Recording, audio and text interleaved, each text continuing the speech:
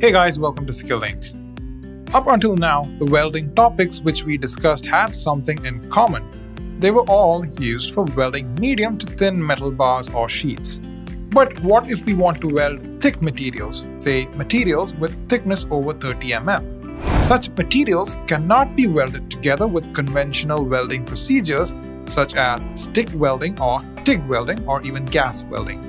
Instead, we use a different type of welding procedure called electroslag welding. This method uses the same basic equipment that is used in most arc welding operations an electrode and the power source. Similar to MIG welding, the electrode is fed into the welding pool from a winding. The welding procedure is as follows. The two materials that are to be welded are clamped together by a molding shoe. A small gap is left between the workpieces. Below this gap, a base plate is then placed below the gap, sealing it shut on both the sides with just one opening from the top. A flux material is then added into the gap. After this, the electrode is lowered into this particular gap. One end of the power terminal is connected to the electrode and another end is clamped to the base metal. An arc is initiated between the electrode material and the flux. Due to the high temperature of the arc, the flux material is melted. More flux is added into the gap till the molten slag reaches the tip of the electrode. After this, the arc is then extinguished. The main reason why the flux is added here is that it is a very bad conductor of electricity.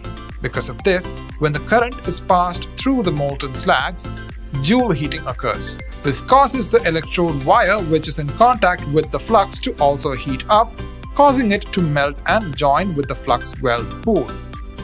Since this procedure does not purely depend on arc generation, it is commonly not considered as an arc welding procedure. Instead, it is considered as a fusion welding process.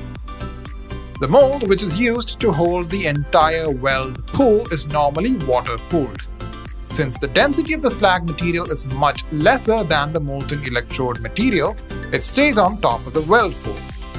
This aids in continuous generation of heat as well as protection of the weld pool from oxygen and other atmospheric elements. While welding very thick materials, the holding die is moved along with the weld pool as it increases in size. Since most of the metal at the bottom would have solidified, this wouldn't be a problem. The electrode feed can also be increased by adding more than one electrode wires into the joint. Due to this specific reason, thick metals can be welded together quite easily with the electroslag welding process. Well, that's it for today's video guys. We'll meet again in the next one. Until then, bye!